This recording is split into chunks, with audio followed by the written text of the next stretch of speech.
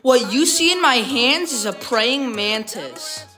They live from 10 to 12 months and grow up to 6 inches. They eat other insects, and sometimes the female will eat its mate.